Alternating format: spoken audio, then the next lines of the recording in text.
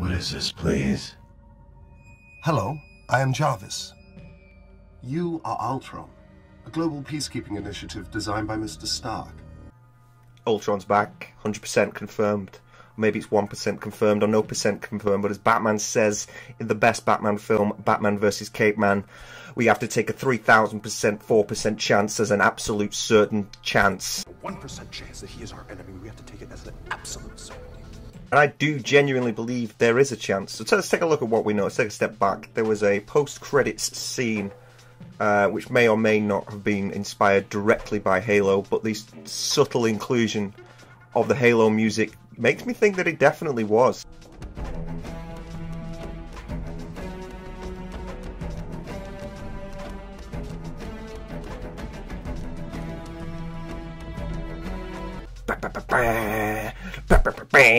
Where it is revealed that Old Vision is a different version than the WandaVision version, and he is a white version of the White Vision version, is a soulless version of Vision, and not the WandaVision version, who is a different version from the comics. So with Soulless Vision absolutely categorically confirmed, there's no way he's going to just be the old Vision because that creates no drama or conflict. They're either going to conjoin together. Real Vision's going to die. Well, WandaVision Vision's going to die, the one with the personality, and then, then we're left with the MCU with this kind of one who might regain whatever. I'm not really asked about that. What I am asked about is that I believe one King of Spades, James King Spader, is going to voice it. It's obviously going to be played by Paul Bettany, voiced over by James Spader. And do you know why I think this? Not because I'm some sort of casting expert, but if we take a simple Google search of the WandaVision cast, you'll see everybody. Absolutely everybody. And if we click just one,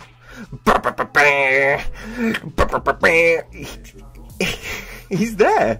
James Spader, voice Ultron. I've not seen anyone talk about this. Now, granted, I didn't find this. A friend sent it me to, to me this morning.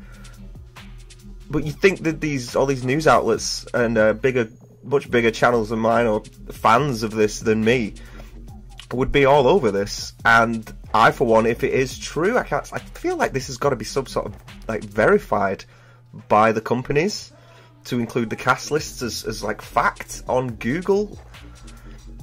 So I feel like the yeah, it's legit. He's coming back, and I hope it ain't flashbacks.